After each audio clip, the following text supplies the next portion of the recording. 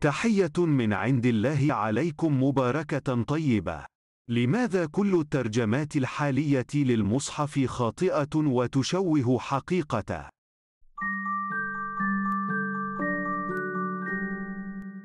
يجيب الأستاذ فراس المنير: رغم تقديرنا للجهد الذي قام به أصحاب هذه الترجمات، ولعل الكثير منهم قام بما قام به عن حسن نية، فجزاهم الله خيرًا، إلا أن ترجماتهم على مستوى النتيجة جاءت بعيدة جدًا عن ما ينبغي أن تكون عليه الترجمة الحقيقية.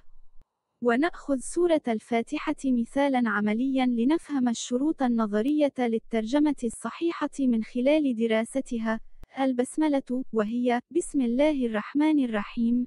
الشرط الأول هو أن يتم ترقيمها كما نرقم باقي آيات المصحف، أي نعتبرها آية من آيات السورة ولها رقمها الخاص، وليس كما هو الترقيم الحالي الحاصل في باقي سور المصحف، وذلك لأنها وردت مع كل السور ما عدا سورة التوبة، وعدم ذكرها في سورة يدل على تعمد من الله سبحانه أن يذكرها مع باقي السور، كما أنها مذكورة في أقدم مخطوطة للمصحف الشريف، أي لم تتم إضافتها للتبرك مثلا أو على أنها نوع من ذكر الله. أو على أنها من آداب تلاوة المصحف كما ادعت بعض كتب الفقه. أما كلمة رب في قوله تعالى الحمد لله رب العالمين فلقد ترجمها المترجمون بمعنى من معاني السيادة من مثل سيد العالمين أو نحوا من ذلك. ولكن هذه الترجمة خاطئة لأسباب منها أنه عند البحث عن كل الآيات المشتركة من حيث الجذر اللغوي مع كلمة رب نجد من بينها آيات تتكلم عن تربية الوالدين لأولادهم وقل رب ارحمهما كما ربياني صغيرا أو تربية أناس لأطفال ليسوا بأطفالهم قال ألم نربك فينا وليدا؟ فمن ناحية اللغة الاصطلاحية الخاصة بالمصحف فالرب من التربية. كما أن ابن فارس في معجمه مقاييس اللغة يقول عن كلمة رب الراء والباء يدل على أصول فالأول إصلاح الشيء والقيام عليه. والله جل ثناؤه الرب لأنه مصلح أحوال خلقه. ورببت الصبي أربه والربيبة الحاضنة وربيب الرجل ابن امرأته. والأصل الآخر لزوم الشيء والإقامة عليه وهو مناسب للأصل الأول ويقال أربت إذا لزمت فحلها وأحبته والأصل الثالث ضم الشيء للشيء وهو أيضا مناسب لما قبله ومتى أنعم النظر كان الباب كله قياسا واحدا وسمي العهد ربابة لأنه يجمع ويؤلف. إذا فعلى صعيد المعنى اللغوي أيضا فكل المعاني تصب في أصل واحد. هو أن الرب تربية بما أن التربية تتضمن إصلاح حال من تربيه وأن الرب ملازمة بما أن التربية تتطلب ملازمة من تربيه وعدم الابتعاد عنه أي أن سبحانه يقصد بكلمة الرب أنه يربي عبده بوسائل دقيقة جدا وكثيرة منها أن يعطيه تارة ويحرمه تارة حتى يساعده على بناء شخصية مميزة. تؤهله للنجاح في الدنيا وتؤهله بعد ذلك للعيش في الجنة. كما أن معنى الملازمة يرد به سبحانه على من ادعوا أن الله خلق الخلق ثم تركهم ونسيهم وأن الخلق اليوم يدبرون كل شؤونهم بأنفسهم. فكلمة الرب تعني أن الله لا يبتعد عن عباده وهو ملازم لهم وقريب منهم دائما ويقوم بتربيتهم. فانظر والحال هذه. كم هي الترجمات الحالية خاطئة عندما تترجم رب العالمين؟ بمعنى مشتق من السيادة وليس التربية.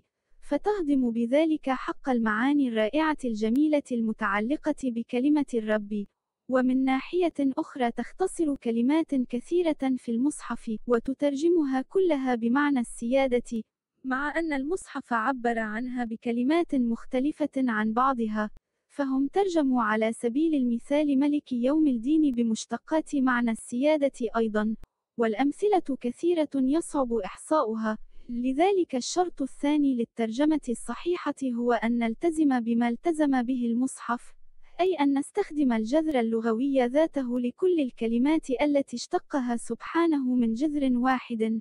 وبهذا نمكن الأعجمية من تفسير المصحف بالمصحف. من خلال ربطه للآيات المشتركة بمفردات ذات جذر لغوي واحد حتى يفهم المعنى أي تماما كما هي طريقتنا في التفسير في العربية. فنبحث في أكثر من معجم عربي إنجليزي لنرى كم من الأفعال في الإنجليزية تتعلق بالتربية. ثم نتوسع في فهم كل فعل منها. من خلال وعلى سبيل المثال المعجم الشهير Cambridge, فنجد أن الفعل raise, هو أقرب الأفعال التربوية للتربية المعنية في المصحف الشريف لأن raise, تتعلق بمعان كثيرة من بينها تربية الطفل بمعنى الاعتناء به إلى أن يكبر. ولكن هذا السبب لا يكفي لأن نختار هذا الفعل بل علينا دراسة كل معانيه الباقية لأنه لا يوجد فعل في الدنيا منفصل تمام الانفصال عن باقي معانيه. بل حتما هناك مشترك ما يعمل خلف كواليس هذا الفعل ويوحد كل معانيه من زاوية ما. ولقد وجدت من معاني هذا الفعل أنه يرفع الشيء إلى مكان أعلى أو يرفع من قيمته من حيث الحجم أو الجودة أو نحو ذلك أي أنه يرفعه من مرحلة أضعف إلى مرحلة هي أكثر قوة وفاعلية. بل قد يرفعه من عدم وينقله إلى الوجود لكن من معانيه في المقابل أنه على العكس مما سبق فقد يتسبب بإنهاء فاعلية شيء ويوقفه تماما فالخلاصة هي أنه يقوي الشيء تارة ويضعفه تارة وهذا ما يقوم به رب العالمين مع عباده حيث يعطيهم تارة ويحرمهم تارة وفق ما يجد من مصلحة أحدهم في توقيت معين. وهذا ما يقوم به الأهل مع أولادهم حيث يعطونهم ويمنعونهم وفق ما تتطلبه التربية. وبما أن اسم الفاعل من هذا الفعل هو raiser, فأصبحت ترجمة عبارة رب العالمين هي the world's raiser, ولكن هل يشترط للأمريكي أن يفهم كل هذا الشرح؟ من مجرد قراءته لعبارة the world's raiser, بالتأكيد لا. إن كلمة raiser, ستوحي له بمعان تتعلق بالتربية وبالرفع والخفض ونحو ذلك كما مر معنا ولكنه قد لا يتمكن من الجزم بأنها بمعنى المربي إلا عندما يربط آيات المصحف ببعضها أي تماما كما يحدث للقارئ العربي عندما يتلو المصحف فهو لا يتمكن من الجزم بالمعنى إلا بعد أن يربط آيات المصحف ببعضها ليفهم لغة المصحف الاصطلاحية رغم أنه عربي يقرأ نصا عربيا. فنكون بذلك حافظنا على عنصر التشويق الذي يتميز به المصحف والذي أراده الله لكتابه. ونقلنا النصوص بأمانة وحافظنا على حق الأعجمي في أن يخرج هو بالتفسير الذي يلهمه الله. ولأننا لو ذهبنا نشرح الآيات شرحا موسعا ليفهمها الأمريكي من المرة الأولى لقراءته سيكون عملنا تفسيرا وليس ترجمة وسنكون قد فرضنا رأينا الشخصي في التفسير. ولن نكون قد ترجمنا بأمانة نسخة لكل أهل الأرض باختلاف اتجاهاتهم. أما الآية الرحمن الرحيم فأن نترجم كلمة الرحيم بمفردة مشتقة من الرحمة. فهذا أمر لا إشكال فيه. أما أن نترجم كلمة الرحمن فهنا الخطأ الكبير لأسباب كثيرة منها. أولاً إن معنى الرحمن لغوياً حير العرب أنفسهم ويدلك على حيرتهم روايات تاريخية كثيرة. وابحث في الإنترنت وانظر بنفسك إلى حجم حيرتهم واختلافهم على هذا الاسم. وقد خلد سبحانه حيرتهم في كتابه إذ قال وإذا قيل لهم اسجدوا للرحمن قالوا وما الرحمن لذلك لا يمكن فهم الرحمن لغويا من غير لغة المصحف الاصطلاحية. ثانيا، المصحف ذاته يربط العذاب بالرحمن، مع أن العذاب هو بخلاف الرحمة. إني أخاف أن يمسك عذاب من الرحمن. فعندما سيقرأ الأعجمي في سورة الفاتحة الترجمات الخاطئة الحالية والتي تترجم الرحمن على أنه كامل الرحمة أو مطلق الرحمة أو شامل الرحمة أو نحو ذلك. ثم يقرأ بعد ذلك اسم الرحمن ذاته في الآية التي ربطت الرحمن بالعذاب. فمن حقه عندئذ أن يظن أن المصحف متناقض مع نفسه. بينما الخطأ في الواقع آت من الترجمة الكارثية. ثالثا الرحمن في المصحف ترتبط به أفعال كثيرة وليست محصورة بالرحمة كما يتخيل.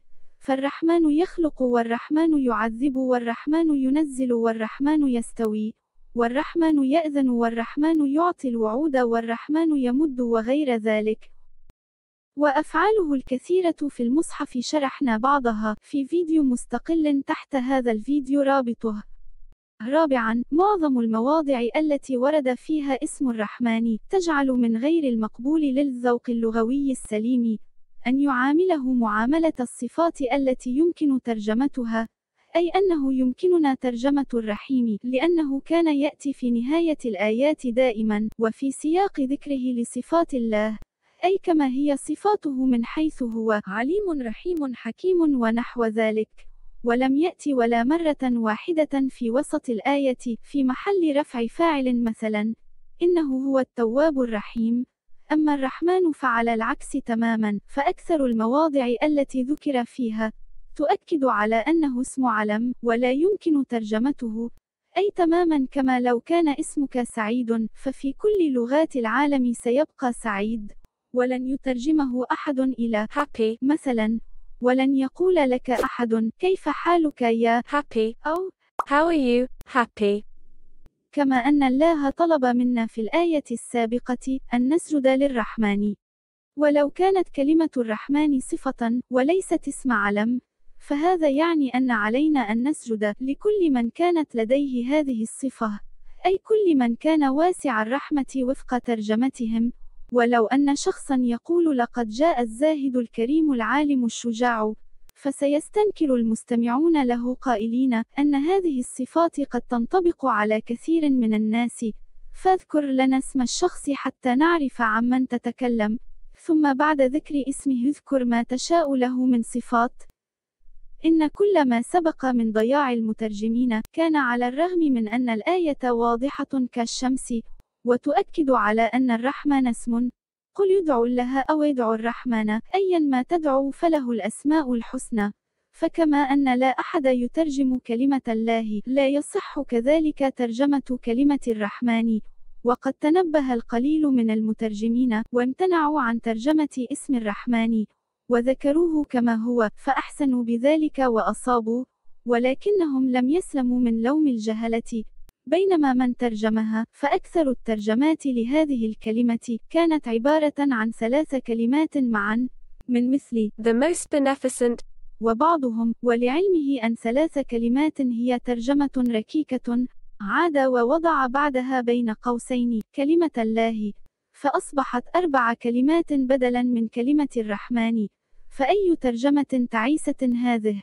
فهذه العبارة الإنجليزية تعني الأكثر نفعًا أو الأكثر خيرية أو نحو ذلك، فليست الترجمة قبيحة فقط، ولا يمكنها جمع أفعال الرحمن الكثيرة والمتنوعة، بل قبيحة لأنها مركبة من عدة كلمات أيضًا.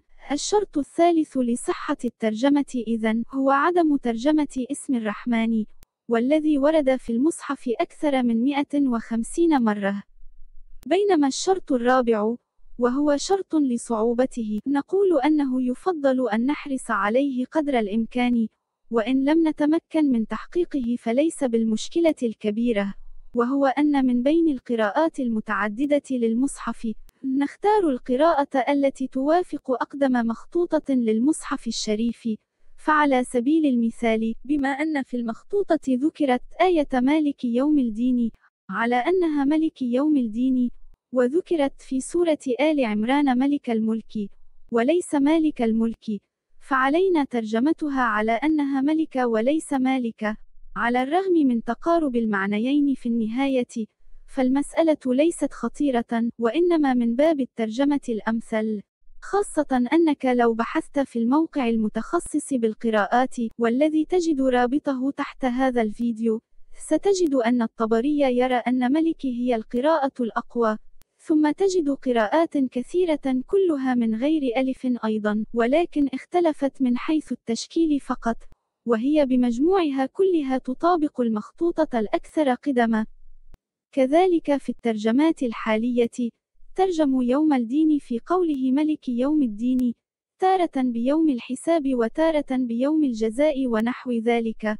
وكأنهم استثقلوا أن يترجموا كلمة الدين كما هي أي religion. والكارثة أنهم ترجموا كلمة الدين في آيات أخرى بكلمة religion. مع أن المصحف اعتبر كل الآيات تتحدث عن شيء واحد واستخدم في هذه المواضع كلها كلمة الدين ذاتها.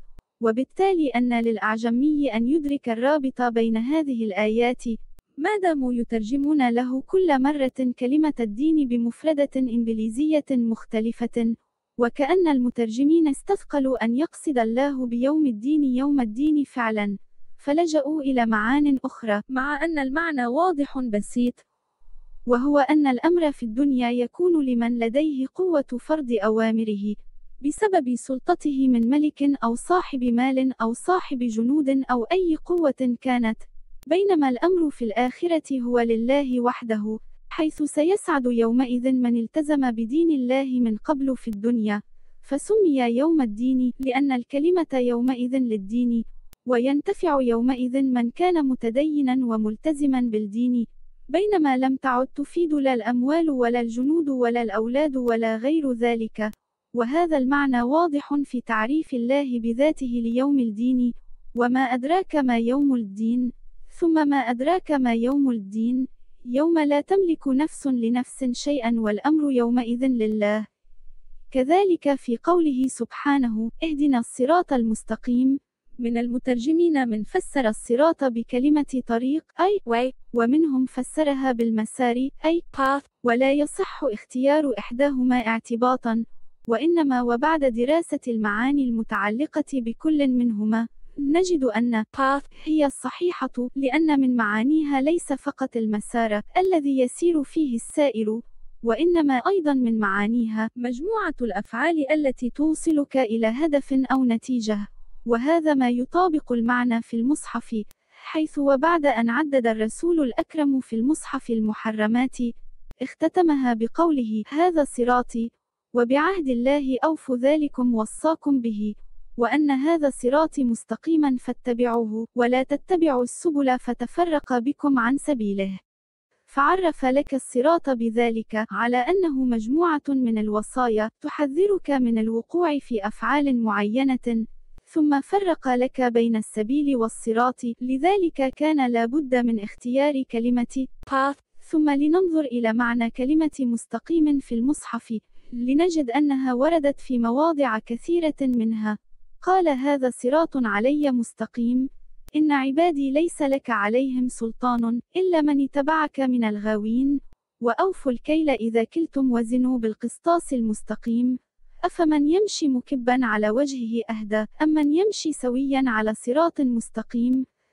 فالآية الأولى فيها معنى الإلزام حيث يلزم الله ذاته بأن يجعل عباده في حماية كاملة من تأثير الشيطان. إلا من أراد بنفسه أن يتبعه.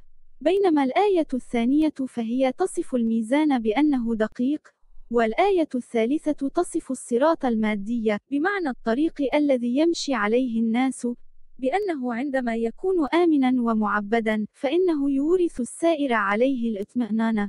فيمشي منتصب القامة مرتاحا بخلاف من يمشي على طريق متعرجة تملأها الحجارة والحفر والعقبات فهو مضطر إلى النظر إلى الأسفل ليتخير خطواته ويتجنب هذه الحفر والمهالك فمستقيم هنا تعني الآمنة. ومن هذه المعاني الثلاثة يمكننا استبعاد الأول منها وهو الإلزام لأن السياق دال عليه فالآيات التي تلته والتي تصف من يسيرون على هذا الصراط بأنهم من الذين أنعم الله عليهم وأنهم ليسوا بمغضوب عليهم ولا ضالين. تبين للقارئ بذلك أن هذا الصراط إلزامي والمترجم عليه الاختصار ما أمكن لأنه لا يفسر بالدرجة الأولى بل يترجم بقي لدينا إذن الدقة والأمان والدقة في الميزان نتيجتها صحة النتائج فلا غش في البيع والشراء أي الأرقام تكون صحيحة وليست خاطئة. لذلك نستعير نتائج دقة الميزان ونستخدمها مع الصراط لاختلاف الماهية بين الصراط والميزان. فينتج لدينا أن الصراط المستقيم هو المسار الصحيح الآمن وعندما يقرأ الأمريكي بعد ذلك في المصحف المحرمات العشر التي وردت قبل كلمة صراط سيعلم أنه كي يكون سيره ضمن هذا المسار الصحيح الآمن. فعليه أن يمتنع عن ارتكاب المحرمات. نأتي إلى ترجمة المترجمين لقوله تعالى صراط الذين أنعمت عليهم لنجدهم يضيفون على الإنعام كلمات من مخيلتهم ليشرحوا بماذا أنعم الله. مع أن الآية الكريمة لم تحدد بماذا أنعم الله وعلى القارئ أن يربط آيات المصحف ليعرف بماذا أنعم سبحانه. فلا يصح أن نضيف كلمات لم تذكرها الآية. فيجب أن نختار فعل أنعم دون زيادة وهو bestow, فما بالك بالترجمات الأشد كارثية والتي ترجمت إنعام الله هنا بالتفضيل؟ وذلك favored, مع أن التفضيل استخدم سبحانه له فعلا مختلفا كما في الآية التالية. وفضلناهم على كثير ممن خلقنا تفضيلا. أما الشرط الخامس فهو أن يحاول المترجم الابتعاد قدر المستطاع عن تفسيره الشخصي للمصحف أما التفسير فيمكنه أن يتوسع فيه في كتاب يصرح فيه أنه يفسر المصحف وفق فهمه. أما عندما يتصدى للترجمة فعليه أن يحاول أن يترجم فقط وينقل بأمانة وحيادية بأكبر قدر ممكن. أما كيف يفهم المترجم معنى المفردات؟ فالأصل هو أن يبحث المترجم عن معنى كل كلمة في المصحف بربط الآيات ببعضها ليتعرف إلى المعنى الاصطلاحي الذي أحدثه الله لهذه الكلمة. أما إن لم تكشف الآيات عن معنى اصطلاحي خاص فهذا يعني أن سبحانه يريد منك أن تبقى على المعنى اللغوي بشأن هذه الكلمة. وأفضل المعاجم هو معجم مقاييس اللغة بما أنه يعطيك المعنى الأصلي الذي اشتقت منه الكلمة. فإن لم تجد فيه فتعود إلى المعاجم العادية. لكن الفرق الكبير بين معجم مقاييس اللغة وبين معظم المعاجم أن مقاييس اللغة يعطيك سبب المعنى الذي تمت نسبته إلى مفردة. بينما باقي المعاجم فتكتفي بالنتيجة. فعلى سبيل المثال في كلمة الرب فالمعاجم عندما تشرحها بالسيد فلا تعلم أنت عندئذ الفرق بينها وبين مفردات كثيرة يشرحونها أيضا بالسيد. أما مقاييس اللغة فبما أنه يشرح لك السبب فأنت تفهم بذلك أن هذه السيادة هل هي مبنية على الرحمة أم هي نتيجة الاستبداد أم سببها القوة أم المال أم الاعتداء؟ أم الحب والحكمة والخير؟ وقد بين لنا مقاييس اللغة أن الرب سيادته مبنية على التربية لمصلحة العبد وليست مبنية على الاستبداد والظلم. فعندما تترجم الرب بالسيد فالأمريكي في ذهنه معان كثيرة للسيادة وأكثرها معان سيئة ليس فقط من تاريخه السيء. بل حتى نظرتهم الدينية إلى الرب الإله تختلف كثيرا عن صورة الرب أي الله في المصحف. وقد شرحنا طرفا من ذلك في فيديوهات سابقة. الشرط السادس أن يكون المترجم متقنا للغة العربية واللغة التي يترجم إليها غاية الإتقان وأن يكون قادرا على الإبحار في معاجم كل من اللغتين على نحو. لا يمكن لأحد أن يأتي بتعبير لغوي أفضل منه وأن يكون قادرا حتى على اشتقاق مفردات غير موجودة في اللغة التي يترجم إليها والتي هي في مثالنا الإنجليزية. حتى إن لم يجد مفردة تفي بالمعنى العربي استحدث كلمة جديدة في الإنجليزية بناء على معرفته بقواعد الاشتقاق فيها. الشرط السابع هو أن تخاطب الأعجمي بلغة عصره السهلة وليس بلغة من ماتوا من قومه حيث كانت لغة الدين في زمنهم يفهمها رجال الدين فقط ولا بلغة بليغة معقدة لا يفهمها إلا علية القوم فاللغة العصرية السهلة يفهمها الجميع ولن يقرأها الأموات وهذه مشكلة كثير من الترجمات الحالية. وبعد كل هذه الدقة التي نتوخاها في الترجمة، على الأعجمي أن يعلم في الوقت ذاته أن لا غنى له عن تعلم العربية، لو أراد أن يتذوق جمال المصحف فعلاً، وأن ترجمتنا ما هي إلا جهد بشري ليشوقه إلى تعلم العربية، والغوص في معاني المصحف أكثر وأكثر.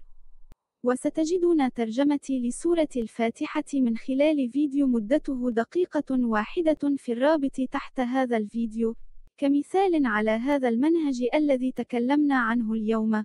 ولكي أتمكن من ترجمة المصحف كاملا بسرعة كبيرة، فسأنتظر حتى يجمعني الله بشخص يكون فقيها في اللغة الإنجليزية أو الألمانية، ويتحقق فيه المعيار الذي ذكرناه.